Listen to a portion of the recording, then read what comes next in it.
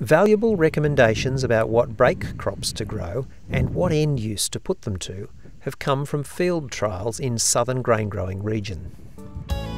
On clay and sandy soils at Hopetoun in the Victorian Mallee, research group BCG, in collaboration with CSIRO, undertook the break crop trial as one of 16 projects funded under the Grains Research and Development Corporation's National Water Use Efficiency Initiative, with additional support from GRDC's Crop Sequencing Initiative.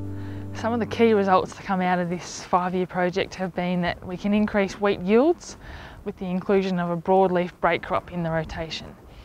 So wheat yields were increased in 2012 following either vetch hay or pea hay or fallow they're about 5.6 tonnes per hectare compared to the wheat on wheat at this sand site being 3.9 tonnes per hectare. Plots of wheat on wheat were compared with others where wheat was followed by fallow or a break crop of canola, field peas or vetch.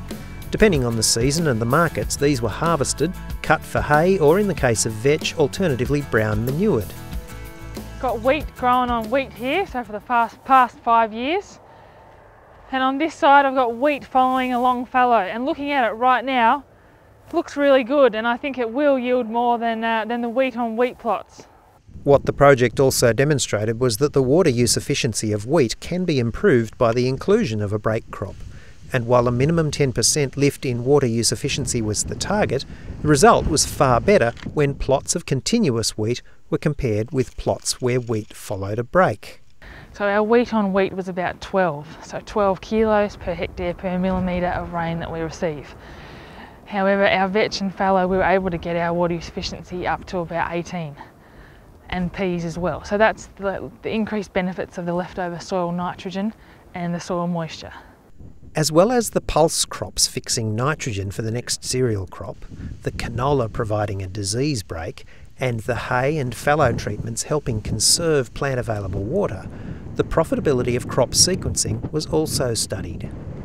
We've done a gross margin analysis on all years of the trial and found that break crops can be at least as profitable as wheat and in some cases significant increases in profit by just having that one-off break crop in the rotation whether it was in 09 or 2010 or 2011 and then followed by wheat on wheat on wheat that gross margin's been averaged out and we have seen some increases in profit. From this project, a break crop decision tree has been created for grain growers' use, and this and the other projects in the National Water Use Efficiency Initiative received a CSIRO medal for the project's contribution to the grains industry.